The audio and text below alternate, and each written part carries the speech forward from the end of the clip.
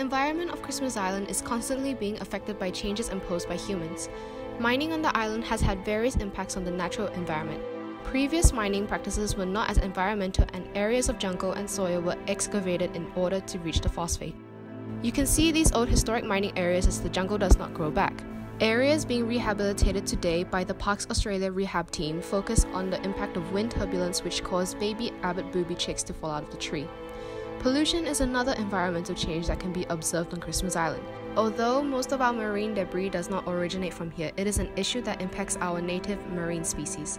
An abundance of rubbish washes up on our beaches, causing harm to our land and sea animals. Therefore, environmental changes have deep effects on our island.